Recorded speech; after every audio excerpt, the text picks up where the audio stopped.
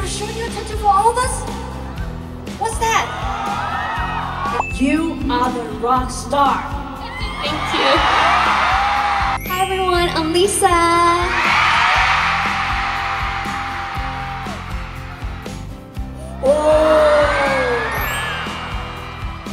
Sexy. 你们喜欢这张照片吗？会觉得太性感吗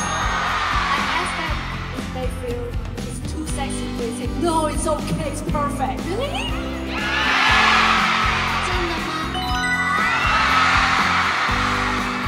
huh? Oh, you're showing your tattoo for all of us? What's that?